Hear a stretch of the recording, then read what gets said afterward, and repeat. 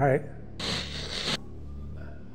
John Wright, Spring River Zoo Director, Roswell, New Mexico. Okay, John, uh, you lost track of time, is that correct? Time is irrelevant. One minute I'm here, next minute I'm there. It doesn't make any sense. Yeah, I was I was I was out walking zoo grounds and a weird glow just happened and the next thing I know I'm, I'm, somewhere else.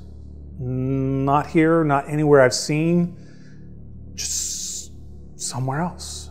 I don't want to sound weird. I have been given some information and things that that our zoo can do to help conservation in an, in an unworldly situation.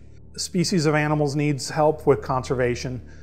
Their food resources are dying off, and they've asked our help to preserve the species.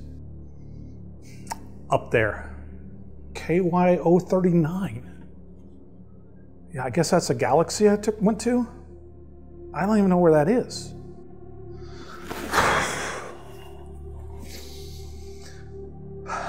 took me to an institution to show me where this animal is, is displayed. And they said they wanted to entrust us to help preserve the species. I, I went with them and they showed me their deals and they explained that this animal is, is endangered and needing our help. And that is what we do here at the zoo. We conserve species, we educate people, we hope that our people can help animals. And that's why they're asking us to help them. They said they're going to bring it to me.